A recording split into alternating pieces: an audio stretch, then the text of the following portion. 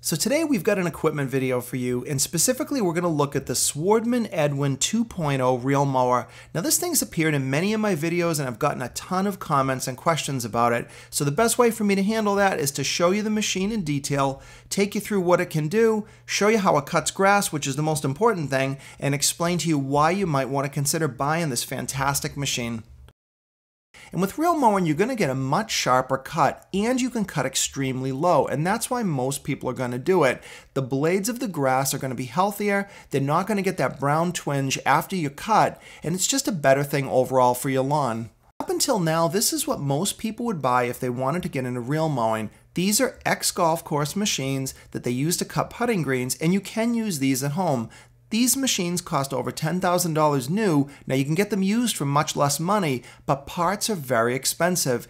And if you want to get the blade sharpened, nobody tells you that you've got to take this entire machine somewhere for them to do that job because most golf courses sharpen them themselves right on the course. Lawn stripes can change how your lawn looks. You can look like a ball field or get that English country garden look, but it changes how your lawn looks and makes it stand out to others. And personally, I love the way the stripes look.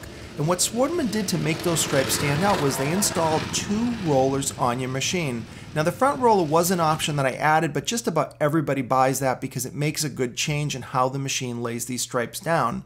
Now the back roller you see there is stainless steel. It's got a split differential on it, which just means that you can turn on a dime because the roller won't dig into your lawn when you're doing a tight turn. But in addition, the front roller here is grooved, and these two together are going to give you those fantastic stripes that you really want to get on your lawn. The best lawnmower is the one that you're going to be the most comfortable at, and Swardman really addressed this a different way. They made the handlebars completely adjustable. Now, I've had some mowers that you can do some of this, but never where you have these two different points that you can adjust. And just by loosening a couple of screws, you can completely customize this machine for you. And it's not just a matter of making the handlebars go up and down, you can even change the angle. So with a little bit of experimentation, you can set this machine so that it's exactly right for you, no matter what height you are. And you can see the amount that you can adjust the handlebar, and this is just the wrist angle. Then you can move on and adjust the handlebar height as well. So by making these adjustments, you can set this mower to be kind of just what you want. And in my case, I found it very comfortable once I messed with these bolts a little bit and got it just where I wanted it to be.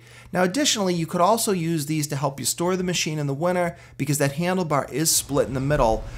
And here's another different feature. They added a small tool storage bag. Now included are a couple of basic tools, but these are pretty much the only thing you're going to need to make any of those adjustments. You have your Allen key and a wrench, and you can probably throw some more stuff in there, but this is a good thoughtful addition.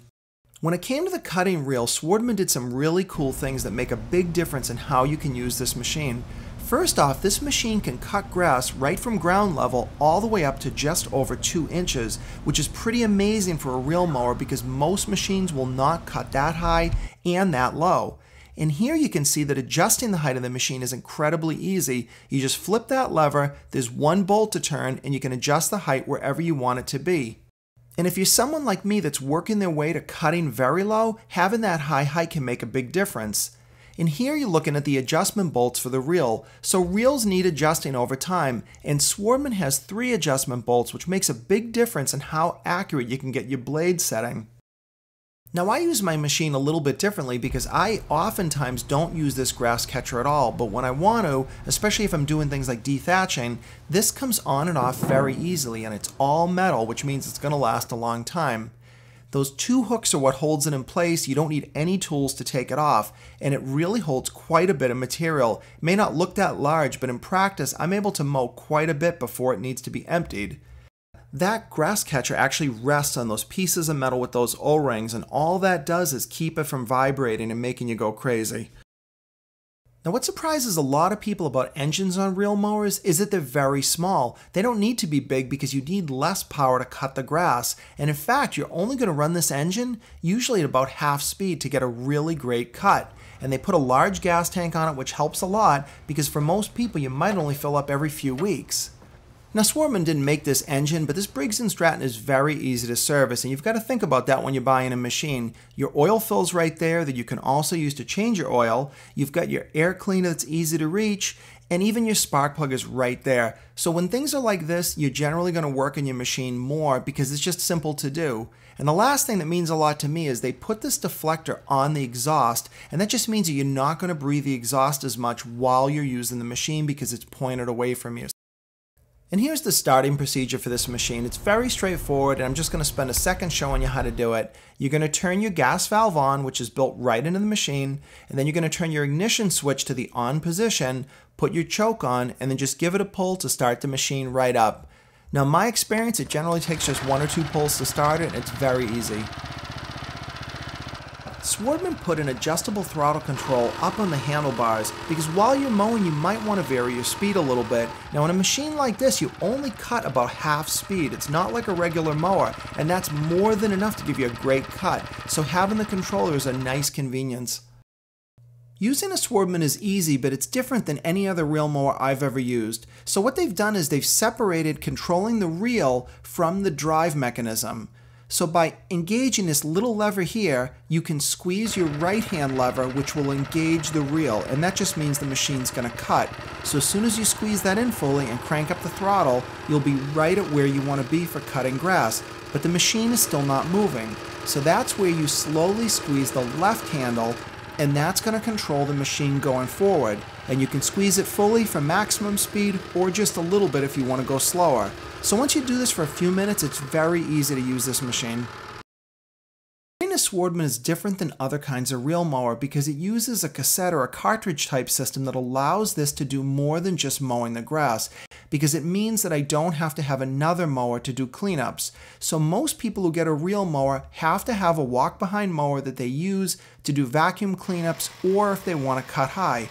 The Swardman is unique because you can do things like dethatching like I'm doing here and clean up your yard very thoroughly and it eliminates the need for having a second machine and of course, great quality of cut is why you want to buy a Swardman mower. They're known for that, and they can cut as well at two inches as they do at a half an inch or even less. They're really incredible. Now, what you're looking at here looks a little bit weird. These look like white grass blades or white weeds, and what this is, weeds that have been treated with a product called Tenacity. If you're not familiar with that, I've made a bunch of videos on it and the stuff works great, but this is what they look like about a week into the treatment and in about another week they'll be dead. So as we get started with the mowing, I just wanted to point this out. Now watch closely as I'm cutting this bed because a reel mower like a Swardman has a cool ability that allows you to cut over the edge of the bed. And you can do that because it's got these rollers and it balances the machine on the rollers, not on traditional wheels like you'd have with a walk behind mower. So when you do this, it can save you a lot of time that you may not need to edge those beds quite as often.